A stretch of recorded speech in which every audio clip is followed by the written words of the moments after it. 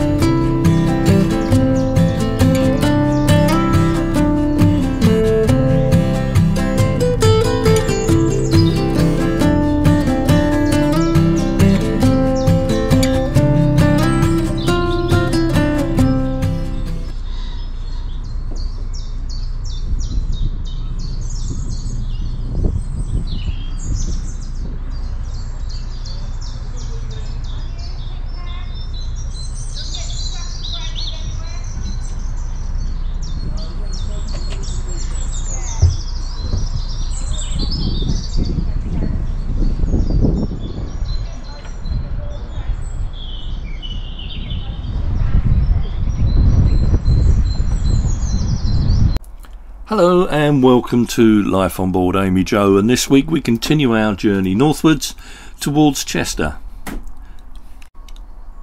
We leave our moorings just before Great Haywood Junction. We fill up with water and make the turn and head off up the Stafford Worcestershire Canal before mooring at Acton Trussell.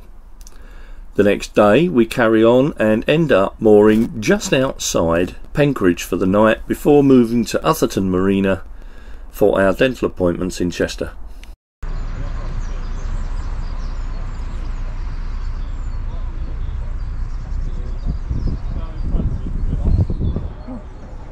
It's such a shame we couldn't stay the weekend and enjoy the floating market that was about to take place, but our dental appointments had precedence and we had to move on to get Amy Jo into a marina so that we could make the train journey up to Chester for our appointments.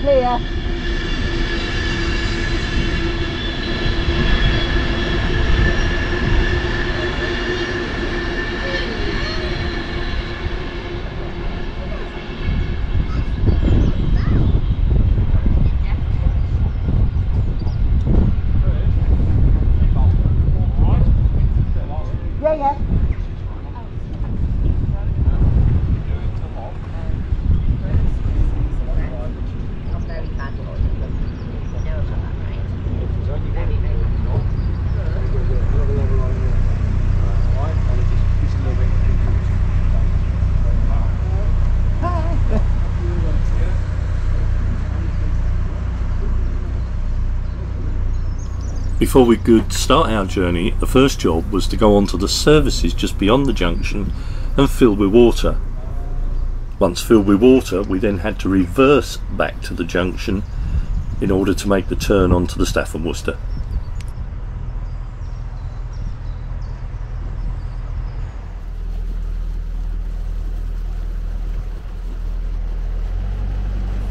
Great Haywood Junction on the Trent and Mersey Canal was conceived as a way to provide a link between Liverpool and Hull, passing through the potteries. It was authorised by Act of Parliament in 1766 and with James Brindley acting as an engineer, its 93 miles or 150 kilometres were completed 11 years later in 1777. Brindley also built the Stafford Worcestershire Canal which began at much the same time as the Trent and Mersey and that was completed in 1772. It joined the Trent and Mersey Canal at Great Haywood and was part of his Grand Cross plan to link four English estuaries the Humber, the Thames, the Severn, and Mersey. Haywood Junction therefore became a major transport interchange. Well, we're making the turn now off of the Trent Mersey at Great Haywood and we're heading down the Stafford Worcester. Been a busy weekend here, there's a trading market going on and uh, lots of trading boats moored up so but we've just been and filled up with water and now we're making our way down the Stafford Worcester. Today we're hoping to make for Acton Trussell.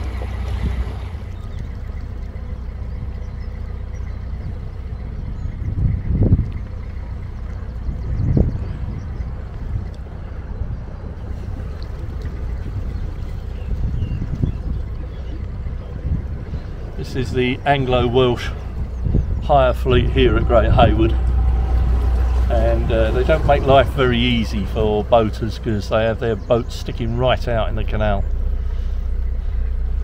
But uh, we should just be able to squeeze through I think. Be a bit tight on the bow but there we go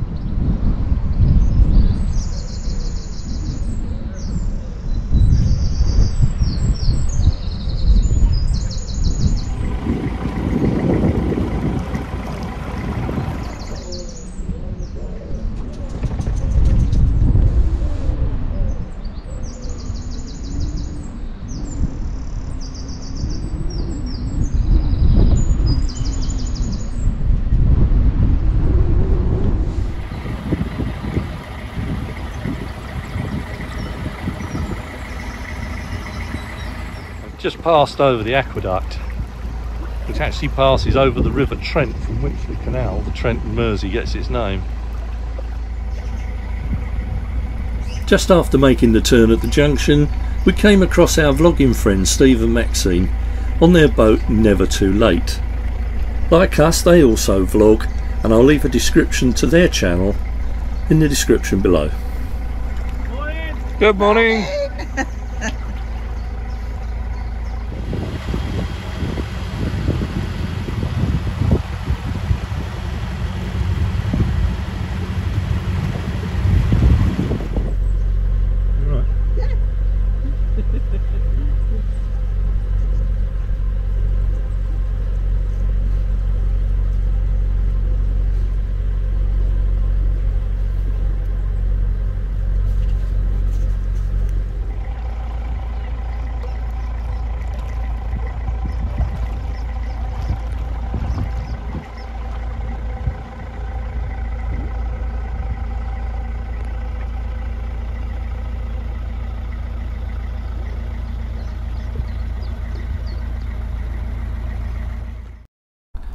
Just coming on to the Tixall Wide, which is also known as Tixall Broad.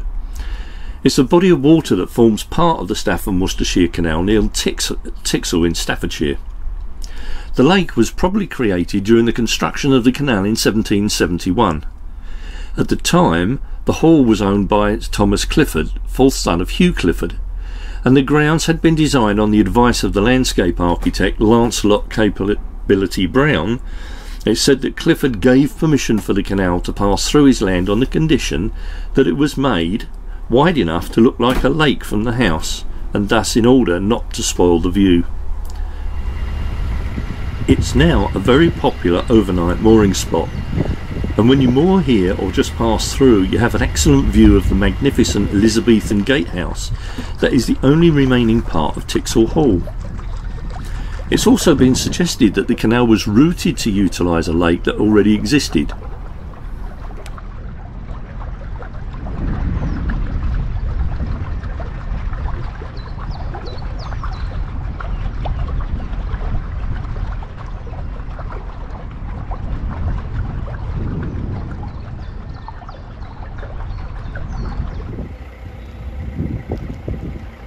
Morning Gareth, morning Lou. Right. How you doing?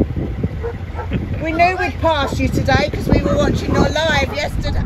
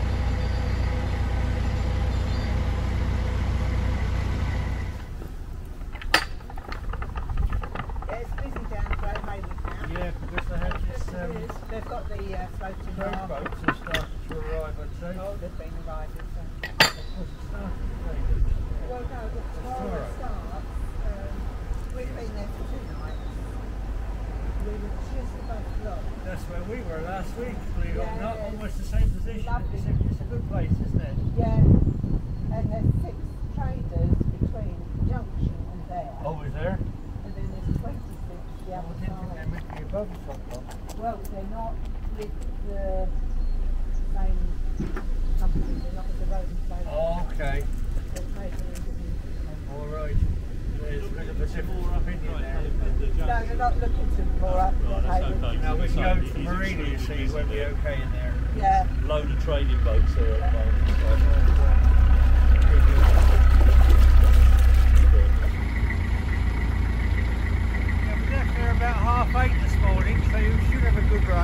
Thank you, Alan.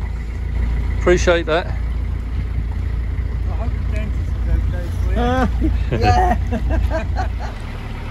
We're currently passing over an aqueduct which crosses the River Sow or Sow. It's spelled S-O-W. I'm going to say it's Sow. And never far away, you can just see the railway in the background there.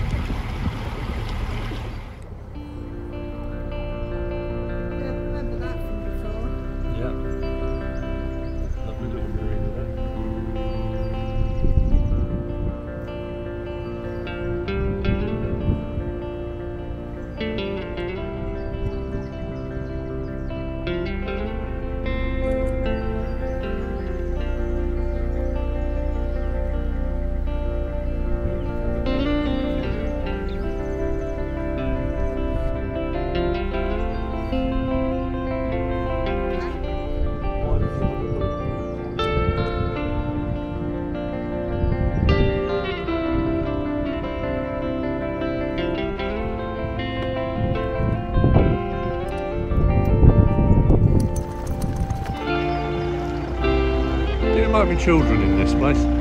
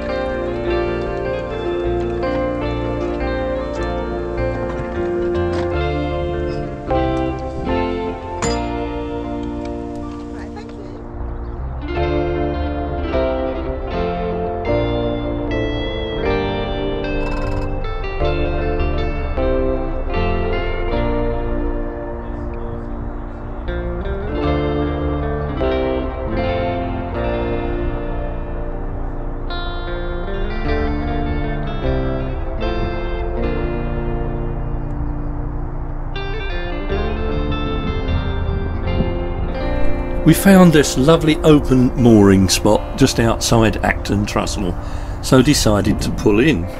Both Chris and I wondered about the strange name of Acton Trussell, and one of our viewers of our live channel actually found out the name Acton is derived from the Anglo-Saxon Actun, meaning oak and town. The Trussells were a Norman family who were early lords of the manor. Acton Trussell was also the birthplace of entertainer Patrick Fyffe. For those of you who might not know, was one half of the popular comedy duo Hinge and Bracket.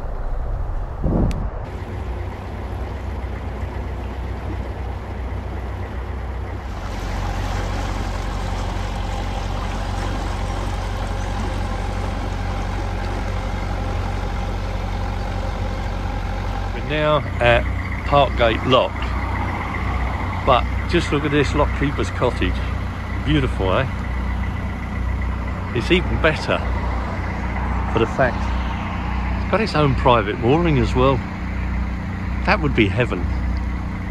There's a new chandlery just opened up that's replaced Midland Chandlers. It's Parkgate Leisure uh, Chandlery and they are well stocked in there. Well worth a, a stop and looking in there if you're coming this way.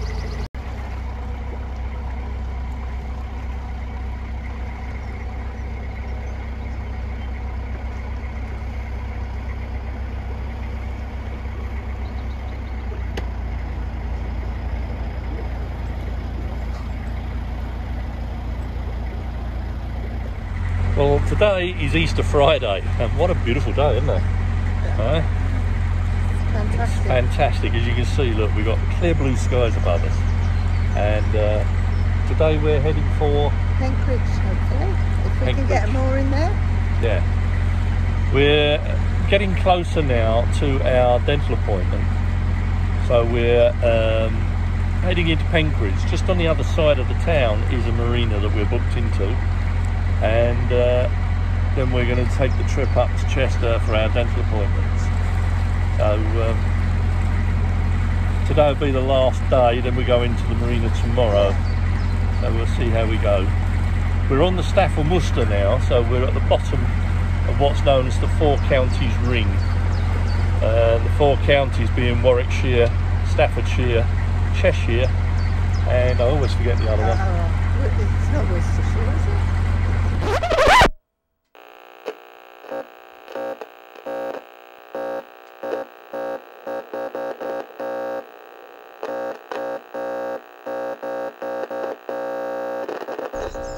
Yes, once again, our apologies. Our bow camera failed on us once more.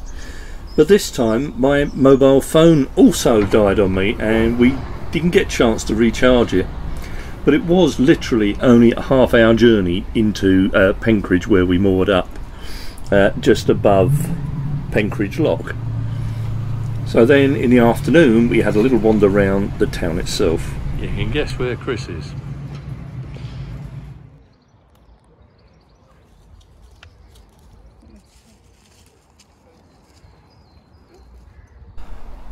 The church is 47 metres long or 154 feet and it's made of local sandstone. It's in the form of an aisled chancel, aisled nave, west tower, south porch and northwest vestry. The chancel is dated 1225 and predates the nave by possibly 25 years. The remains of the 13th century roofline can also be seen in the interior. The tower is dominant with the lower section decorated and the upper section perpendicular Gothic. The style of the building is Early English perpendicular and all traces of earlier churches of Saxon or Norman origin have now totally disappeared.